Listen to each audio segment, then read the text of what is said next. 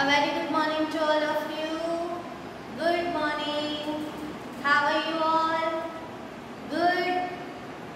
Good है कि नहीं एग्ज़ाम आ रही है अभी तो गुड ही रहना पड़ेगा, है ना एग्ज़ाम जो देनी है, अगर एग्ज़ाम गुड गुड देनी है तो आपको भी गुड होना पड़ेगा right okay so let's start with the short prayer join your hands, close your eyes Vakratunda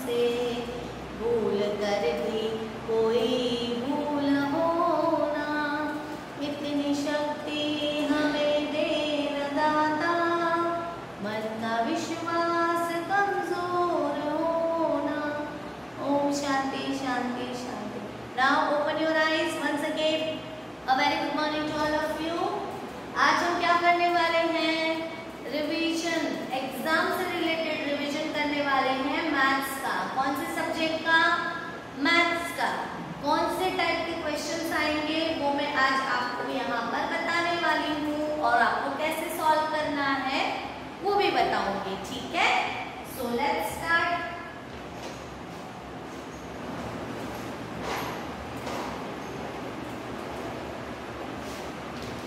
सबसे पहला है, किस टाइप के क्वेश्चन आएँगे, वो टाइप बताई है। अंदर का ये जो क्वेश्चन है, वो पूरा चेंज रहेगा एग्ज़ाम में। ऐसा सेम टू सेम नहीं आएगा। ये just I am giving you a रफली एग्जांपल कि इस टाइप के क्वेश्चंस आएँगे। हाँ ये श्योर है कि एग्ज़ाम के क्वेश्चन आंसर जो है, वो इसी टाइप के आएँगे क्वेश्चंस ठीक है? आपको आंसर मैं जो बता रही हूँ, उसके अकॉर्डिंग ही लिखने हैं, पर पेपर यही का यही नहीं आएगा। तो पहला क्या है? Right number from one two thirty one से लगा के थर्टी तक आपको लिखना है। आई आपको इसमें कोई प्रॉब्लम आएगी बिकॉज़ आप ये जूनियर में भी पढ़ चुके हो राइट इस मंथ में भी अपना थर्टी तक कंप्लीट हो गया है राइट तो इसलिए ऐसा नहीं है कि अभी खत्म किया और अभी पूछ लिया। इट्स नॉट लाइक दैट आप जूनियर में भी वन टू थर्टी सीख चुके हो। इसलिए आपको ये तो आता ही है है ना? वन टू थर्टी आपने जूनियर में भी लिखा है तो सीनियर में तो आना ही चाहिए। तो वन टू थर्टी आपको लिख के कंप्लीट करना है मेरे पास उतनी जगह बोर्ड पे नहीं है कि मैं पूरा वन टू थर्टी लिख सकूँ इसलिए जहाँ तक आएगा वहाँ तक वी विल फिनिश तो वन के बाद क्या आता है आपको इसमें काउंटिंग करते हुए लिखना है one two three four five इसके बाद सिक्स सिक्स के बाद सेवन आता है सेवन के बाद एट उसके बाद नाइन उसके बाद one zero ten one one eleven one two twelve one three thirteen one four fourteen one five fifteen one six sixteen one seven seventeen one eight eighteen one nine nineteen two zero twenty मैंने two zero twenty तक लिखा है because मेरे पास इससे ज़्यादा जगह नहीं है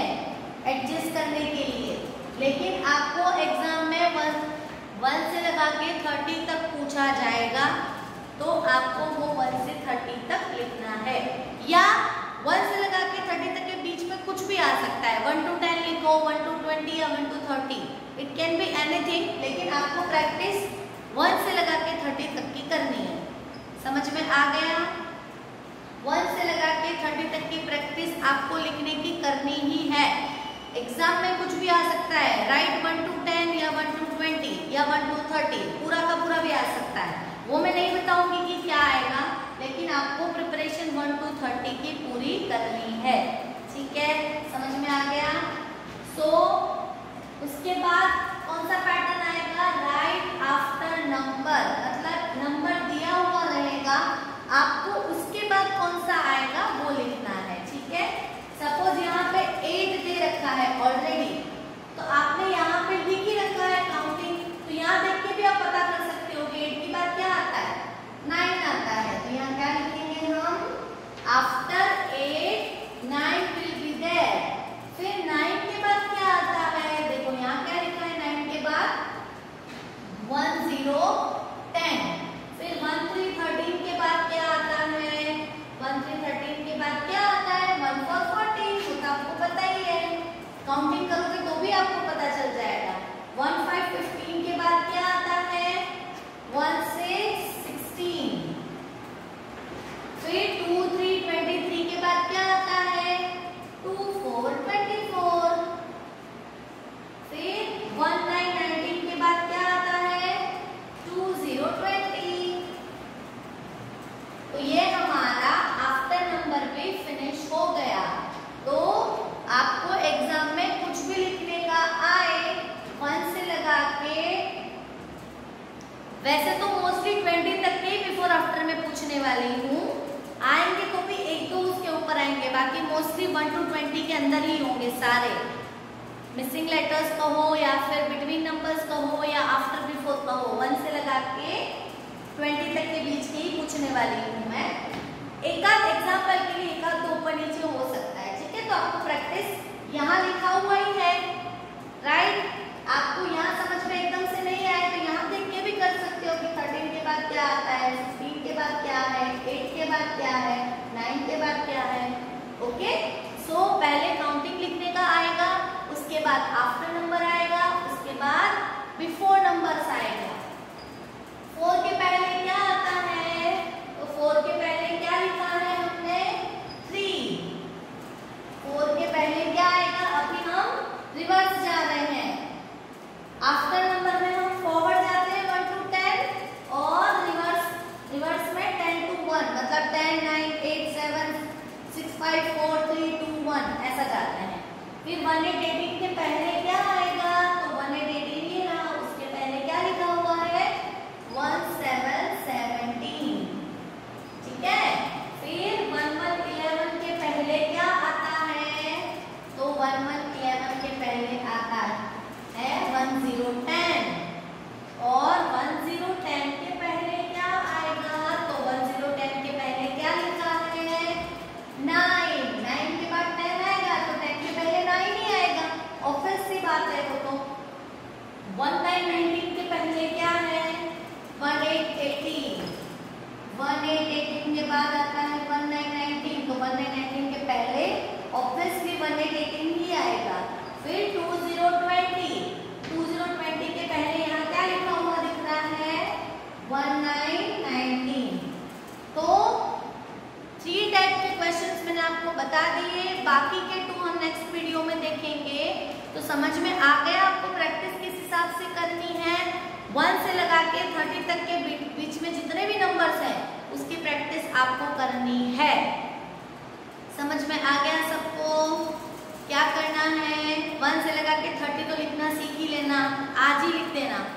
वन से लगा के थर्टी पूरा लिख देना, उसके अंदर से बिफोर आफ्टर नंबर वो तो जो लिखा हुआ रहेगा, उसी में से ही देख के आप कर सकते हो। अगर आपको वन टू थर्टी लिखना आता है तो ये दोनों क्वेश्चन तो ऐसे ही सॉल्व हो जाएँगे आपको कोई मेहनत करने की ज़रूरत नहीं है अगर आपको काउंटिंग आता है तो आपको बिफोर आफ्टर बिटवीन सारे नंबर्स आ जाएँगे। उसमें कोई कहीं दिक्कत नहीं आने वाली है। पर शर्त यही है कि आपको वन से थर्टी आना चाहिए। वन से थर्टी बोलना और वन से थर्टी लिखना। वो आ गया तो आपको सब आ जाएगा। आफ्टर बिफोर बिटवीन सब उसी के अंदर से पूछे जाते हैं। मिसिंग नंबर सब उसी के अंदर से आता है। तो ये तीन पैटर्न मैंने आपको बता दिए। वन टू थर्टी लिखना, उसके बाद आफ्टर नंबर और before number so keep practicing practice रखना तभी एग्ज़ाम में अच्छा कर पाओगे. Okay do well and do practice okay समझ में आ गया? All the best to all of you see you in the next video bye all of you